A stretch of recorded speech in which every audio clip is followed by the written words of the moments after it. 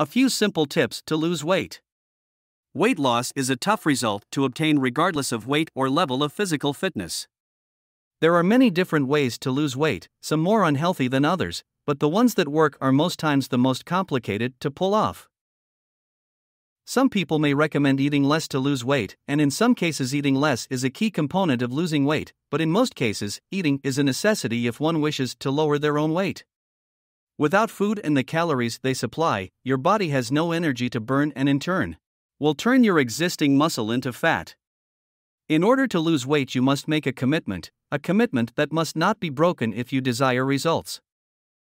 Do not misconstrue this for the idea that you can never indulge during your diet, but just be sure that you have set reasonable limits for yourself that you are ready to commit to.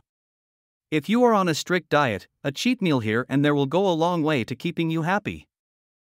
To be successful in achieving your goal of weight loss, set multiple, smaller, more easily attainable goals for yourself.